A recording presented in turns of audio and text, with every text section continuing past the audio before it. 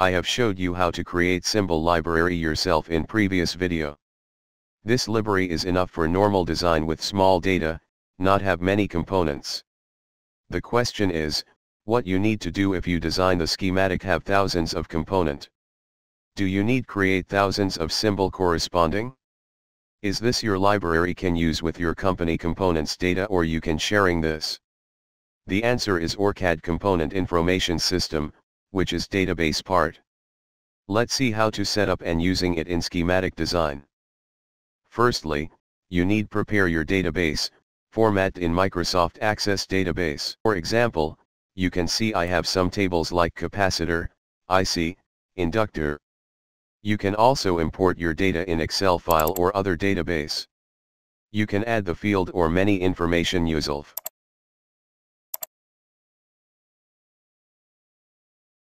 Step 2, Setting ODBC Data Sources.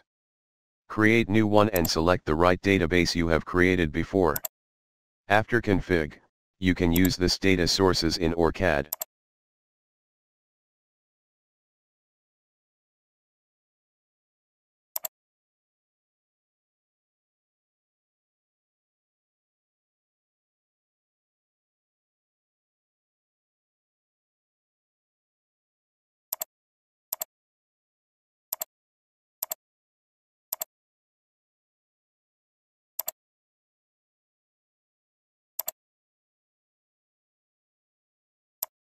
Step 3, Setting in ORCAD.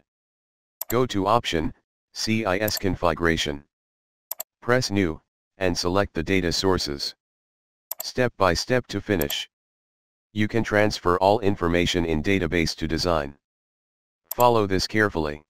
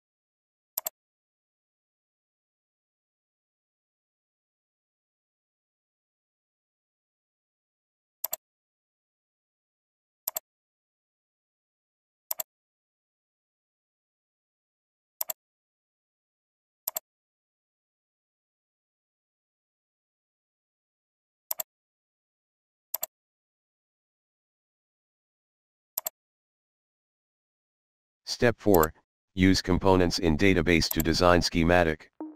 You can see it have many advanced than basic library. You can only create symbol one time, but can define as many components.